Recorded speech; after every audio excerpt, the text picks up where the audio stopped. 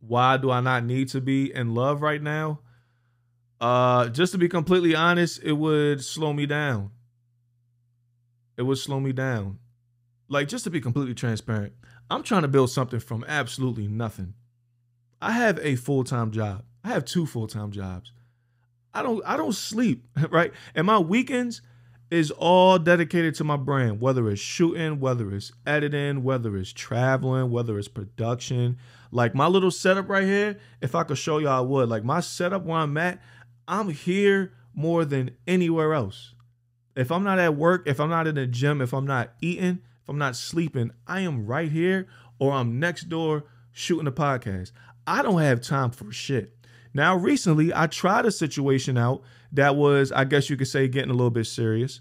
Um, but I, I realized it would have been, I, I, I just couldn't dedicate the time, energy, and money needed towards that. Money, too. My money goes right back to this shit or to food. I'm not to lie. But still, like that shit adds up. Like seriously, like like being in love or relationship, that shit takes time, energy, and money. And I don't want to hear y'all sit here and say, oh, you don't need money. No, relationships cost money, y'all. I'm not saying we got to go out every day, da da da, whatever. Relationships cost money. It costs something. It costs time. It costs energy. I don't have nothing to spare right now. I have nothing to spare. Everything is going back to Dai By Dai, or working out, or work. If I'm not at my nine to five, I'm here, or I'm at the gym. I don't have so if I were to be in love, it would slow me down because I would have to what's the word? What's the C word? I would have to um what's that word? I would have to compromise. I would have to compromise. Time is getting taken away from one of the two, whether it's her or whether it's my brand. Time is getting taken away from one of the two. And whichever one I'm taking the time away from is going to have a negative effect. If I take the time away from her, you don't spend time with me. We don't go out. You don't show me no attention. Women love attention. And I love that y'all love attention. And I know that y'all love attention. That's why I'm sturdy on, you know, not wanting to go down that road yet. So that's why I say I, you know, it's, it's best that I don't fall in love right now.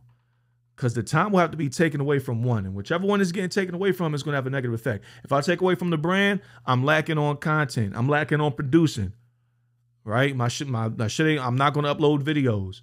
And it's I'm, and then I'm gonna get all anxious, right? I'm gonna have anxiety, like fuck, I'm not doing it's my subconscious is gonna kick my ass because I'm not doing what I'm supposed to be doing. And then with her, I'm not doing what I'm supposed to be doing. So who knows what that'll lead to? That'll lead to all types of shit. So long story short, uh that is the reason why I say that I don't need to be in love.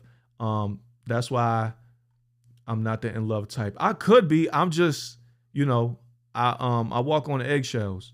And I'm not gonna lie, if I see it coming, I kind of jump out the water early, if you would, if I can. Sometimes you be in that water too long and you can't help but to stay in it. But if I can, you know, I I, I kind of leave the situation before it gets to that.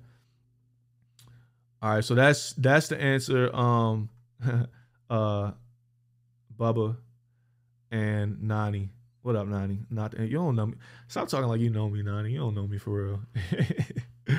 uh, relationships definitely cost money. Yeah, love be slowing a lot down. It do, it do. And I'm not gonna, you know what I mean. I'm I'm not gonna sit and act like it don't. That shit does slow you down. Now that's why I think like you should like do the whole love and marriage shit when you're when you're able to slow down. Now I'm talking from men's perspective. Women is different because y'all it's the opposite. Y'all you know, kind of got to get to it quicker than we do because y'all tip y'all, you know, we're supposed to provide. So y'all want to get with a dude that's able to provide and you're able to slow down with, if that's what it come down to, unless y'all both working 50-50, whatever. But if you're trying to do the, you know what I mean? Like he's able to really take care of y'all, then you want to get with a dude that can provide and you can slow down. With men, we gotta grind. It's gonna be a minute before we get to that phase where we're able to slow down. So I think that if I try to get to that too early before I'm able to slow down, then it's going to take longer for me to get to that point when I can slow down. I might as well just lace my boots now, do what I got to do. Then when I get to that point, being realistic, I'm 29 years old. Realistically, between 32 and 35, realistically, to the point where like, okay, bet. Cause I, I like to eat, I like to do things. Like if I get in a relationship and then like, you know what I mean? Like I mean, again, I'm not trying to, you know what I'm saying, saying I'm, you know what I mean, like a, you know what I mean. But I, I, I deal with high like high quality women. Like I don't deal with just any type of chick, and I know high quality women come with. So if we talking relationships, I want to keep her happy. Myself too. I like doing shit. I like taking trips.